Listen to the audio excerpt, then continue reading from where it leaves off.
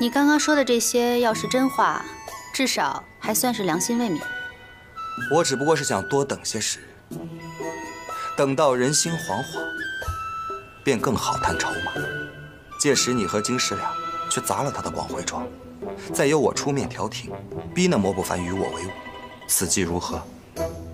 刚刚你掌心温热，让我有一丝幻觉，没想到你的心当真冰冷。看没看过小雨的伤？你想没想过那些失踪的孩子作何惨状？你可知道多耽误一天意味着什么？他已经受了那么长时间的苦了，再熬些时日，坏不到哪去。